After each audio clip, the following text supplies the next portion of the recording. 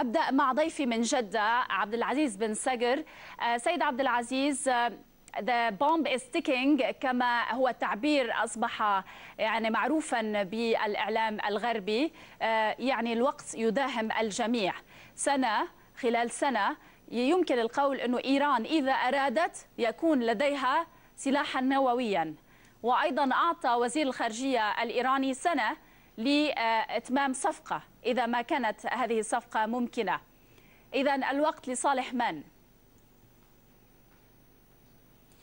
مساء الخير ستريما لك ولمشاهدين العربية وكل عام وهم بخير في كل مكان.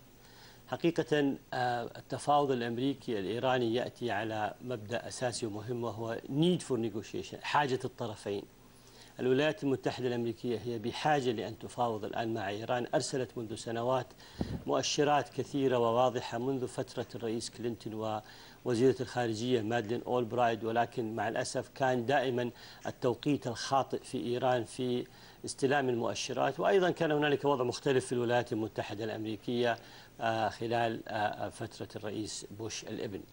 الآن السؤال اللي يطرح نفسه لماذا هذا التفاوض لماذا هذا الإسراع من الجانب الأمريكي؟ الرئيس أوباما كما ذكرت في تقريركم هو لا يبحث عن حروب في المنطقة وتعب من حرب في العراق وأفغانستان والولايات المتحدة منهكة لديها مشاكلها ولديها قضاياها فهو اتجاهه إلى أن لا يكون لا حرب جديدة تخوضه الولايات المتحدة وهو مستعد أن يقدم تنازلات في سبيل تحقيق بعض المصالح والأهداف الأمريكية. الولايات المتحدة نعم. بحاجة إلى إيران في أفغانستان وفي العراق وفي لبنان وفي سوريا وربما مع بعض الفصائل الفلسطينية في في هذه المرحلة. بالمقابل الحسابات الإيرانية جاءت مدروسة فهي تأكدت من أنه بدون علاقة أمريكية إيرانية جيدة ومقبولة لا تستطيع أن تتقدم فيما يتعلق بعزلتها الدولية والحصار الاقتصادي المفروض عليها.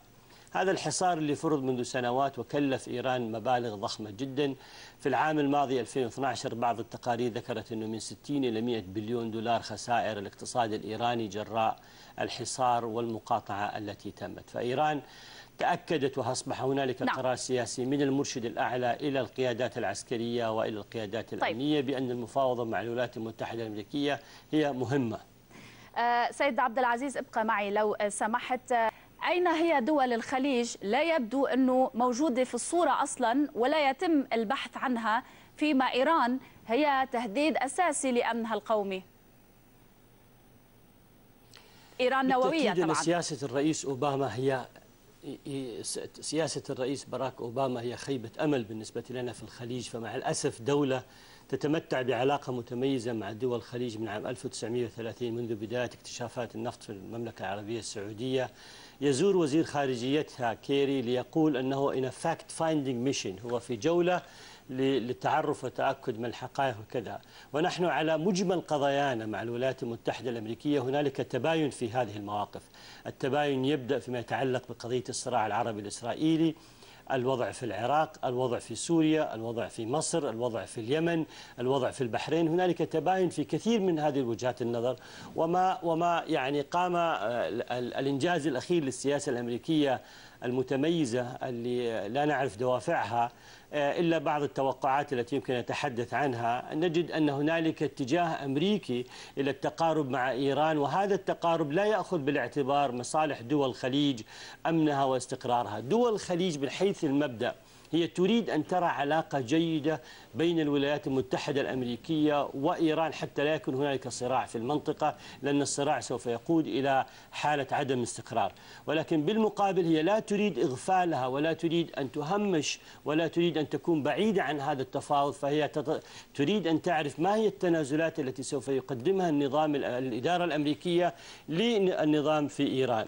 تغيرت الوجيه في إيران فأسرعت الولايات المتحدة الأمريكية لدرجة أن الرئيس أوباما لا يستطيع أن يتحدث مع الرئيس روحاني إلا من خلال سفيره في الأمم المتحدة يتصل بالسفير الإيراني ليطلب منه أن يعطيه الرئيس روحاني حتى يحظى بشرف محادثته وبعد 45 دقيقة يظهر إلى العالم ليقدم نفسه بهذا الانتصار العظيم الذي استطاع أن يحققه بمحادثة الرئيس روحاني. هذا استغراب شديد يعني في الخليج الدول التي وقفت مع الولايات المتحدة الأمريكية في اقتصادها تبيع نفطها وغازها بالدولار تودع في ال ال ال الاحتياطي الفيدرالي الأمريكي. هي نعم.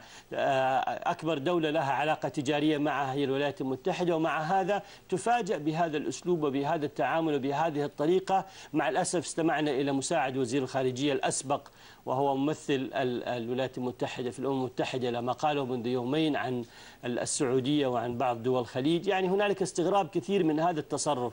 نعم. خليني أذكر أسباب غير ظاهرة سريعا. نحو الاندفاع الأمريكي. قد تكون إحدى الأسباب. سريعا. اولا هنالك مصالح أمريكية اقتصادية كبيرة سوف تكون في إيران لأنه إيران همشت وأبعدت ولم تحظى بالتنمية منذ 79 إلى إلى 2013 فالحجم سوف يكون ضخم جدا. هذا واحد. اثنين هنالك أكثر من 14 حقل نفط غازي في الخليج مشترك مع إيران بدون موافقة أمريكية لا يمكن تطوير هذه الحقول التي سوف تزيد بالإنتاج وتساهم في خفض أسعار النفط على المدى البعيد. ثلاثة هنالك تخوف أمريكي من اندفاع آه، إيراني نحو آه، آه، روسيا والصين حول اتفاقية شنغهاي security pact اللي تسمى اتفاقية شنغهاي. فأيضا أمريكا لا تريد اندفاع إيران إلى روسيا والصين أكثر من ذلك وتريد أن تحجم. هذه بعض المصالح التي نرى أنها أساسية ولكن الطريق إلى كل هذه التسوية يبدأ بالملف النووي الإيراني دون وصول اتفاق أمريكي. حول الملف النووي الإيراني. لا يستطيع الرئيس باراك أوباما أن يقدم مقترحاته إلى طيب. الكونغرس ليحظى بموافقة وتأييد نعم. من الكونغرس على هذه القضايا. سام لديه دق تعليق آه، تعليقا قبل أن أنتقل إلى تحياتي الأستاذ سام أول شيء يعني وسعيد أني أراه معنا على الهواء. وأنا أيضا دكتور. أود أن أسمع رد لوجهة نظر الخليجية من سيد عبد أو الدكتور عبد العزيز بن صقر. آه، يعني لو ترد على السيد آه، هاشم الموسوي في هذا الموضوع هناك حديث عن خيبة أمل من دول الخليج ببعض الأحيان سواء في لبنان أو حتى اليمن أو العراق أنه إساءة آه، إدارة الملفات. والله مع الأسف دول الخليج هي يعني آه، وقفت إلى جانب الشعب العراقي حينما هددت إيران احتلال العراق ودخلت القوات الإيرانية إلى الإرادة العراقية. وقفت دول الخليج مع الشعب العراقي بغض النظر من كان يحكم في ذلك الوقت صدام حسين هو الحاكم في ذلك الوقت. وهو كان يعني مقبول من الشعب العراقي وكان يخرجون بالملايين هتافات له. فوقفت دول الخليج مساندة لهذا الشعب حتى لا تحتل إيران الأرض العراقية. حينما احتل حينما حاول صدام احتلاله ودخل الكويت واحتل الكويت وقفت دول الخليج مع بعضها البعض لمساندة خروج صدام حسين وجيشه من الكويت وتحرير أرض عربية جارة احتلت من قبل دولة وجارة أخرى. حينما قررت الولايات المتحدة غزو العراق 2003 يتذكر العراقيين أن الملك عبد الله كان رافض لهذا الاحتلال وكان رافض لهذه الحرب وكانت السعودية ودول الخليج رافضة للقيام الولايات المتحدة بدخول في حرب مباشرة من العراق لأنها تعلم ويلات وتبعات ما يمكن أن يحدث مع هذا. مع هذا اندفع كثير من أخواننا من القادة السياسيين العراقيين الذين دخلوا على الدبابات الأمريكية وجاءونا عبر الحدود الإيرانية العراقية ودخلوا إلى موطنهم هنالك. إدارة الملفات بالنسبة لنا دائما تنطلق في دول الخليجية لا ليس لديها مصلحة في التدخل في الشأن الداخلي في أي من الدول العربية لا في لبنان ولا في سوريا ولا في العراق ولكنها تقف مع الشعب حينما يكون هنالك مطالب شعبية من هذا الجانب في مصر على سبيل المثال وقفت مع مبارك حينما كان رئيسا لأكثر من 30 سنة طيب. حينما قرر الشعب المصري تغيير وقام بثورته كي لا يعني مع مرسي وساندت مرسي وقدم. الحوار بسياقه نحن نبحث موضوع حصرا أوراق الضغط الإيرانية وأماكن تواجد إيران بقوة عبر يعني حلفائها وبالتالي لا أريد بحث سياسة ال GCC أو الخليج في كل العالم آه، العربي. فالسؤال هون آه، إذا ما حصل صفقة فعلا أمريكية إيرانية هل ممكن لدول الخليج أن تعيد النظر في في تحالفاتها؟ وبالتالي يبقى الباب مفتوحا على روسيا أو الصين. لا يعني بالتأكيد البديل بالنسبة لدول الخليج ليس روسيا والصين. لكن على دول الخليج ما زال لديها القدرة أن توحد مواقفها السياسية تجاه الولايات المتحدة الأمريكية والتعامل معها. فيما يتعلق بكافة الملفات المهمة بالنسبة لها ابتداء من الملف السوري والمصري والوضع في اليمن هنالك ملفات كثيرة لابد من أن يكون هنالك وضوح فيما يتعلق موقف موحد من دول الخليج. النقطة الثانية أيضا لابد أن لا تتبنى دول الخليج القبول بسياسة الفيتو الأمريكية عليها. دول الخليج احترمت سياسة الفيتو الأمريكية حول التسليح فيما يتعلق بالمعارضة في سوريا. لأنها أرادت أن تبقي الولايات المتحدة ودورها الفاعل في سوريا وكانت حينما تسمع من كلام الرئاسة الأمريكية ووزير الخارجية الأمريكية والتصريحات الأمريكية التي كانت تفضل الانتظار لما بعد الانتخابات وقدمت وعود كثيرة وأكدت على عدم مشروعية الرئيس بشار الأسد وكل الوعود هذه هي نعم. حاولت أن تعطي فرصة وقبلت بالفيتو الأمريكي الآن طيب. يجب أن لا تقبل بهذا الفيتو الأمريكي نعم. أيضا هي ما تنسي أنه لديها إمكانيات ضخمة يعني أكثر يعني هنالك مبالغ بالتريليونات موجودة في سندات الخزانة الأمريكية هي تستطيع أن أن تحول بعض هذه الاستثمارات لأماكن معينة هي تستطيع أن توجد basket of currency يعني سلة عملات مختلفة تستطيع أن تتعامل معها طيب. هي أيضا قادرة أن تقوم بكثير من الأفعال لأنه لها ما زال لها تأثيرها الدولي دكتور عبد العزيز بن صقر آه، ما هي الأجواء لديكم؟ هل تتوقعون صفقة أمريكية إيرانية أصلا؟ يعني للحسابات اللي سبق وأن ذكرتها للجانبين الإيراني والأمريكي أتوقع أن يكون هنالك صفقة ليس بهذه السرعة وإنما راح يكون عملية آه، التأكد الجانب الأمريكي من أن الرئيس الروحاني قادر أن ينفذ الوعود التي يقطعها وقادر أن أن أن يقدم ال- المزيد. هنالك مزيد من التنازلات لابد أن يقدمها كلا الطرفين الجانب الإيراني والجانب الأمريكي ولكن مثل ما تفضل الأستاذ سام أنه الحوار سوف ياخذ وقته راح يكون هنالك بعض التنازلات من الجانبين اللي نتوقع ان طيب يقدمها ما دكتور عبد العزيز هل نتحدث ما- هل نتحدث عن صفقة تتناول فقط آه، الملف النووي الإيراني وأفغانستان أم سيكون هناك قرار بحزب الله في لبنان قرار في نظام الأسد في العراق في آه، في آه، يعني نقاط أخرى أوراق ضغط أخرى لديها هو لدى هو إيران؟ هو ما اختلف ما اختلف في هذه المرحلة من التفاوض في مؤتمر جنيف أنه في السابق كان الإيرانيين يصروا على ما يسمى بال grand bargain يعني كل القضايا تطرح من مشروعية النظام إلى الأمن الإقليمي إلى آه، الدور الإيراني في التدخل إلى البرنامج النووي إلى المبالغ الإيرانية يعني كل القضايا مع بعضها. الآن اختلفت الصورة وقبلت إيران في هذه المرحلة أن يجزأ التفاوض وهذا ما كان يطالب به الجانب الأمريكي.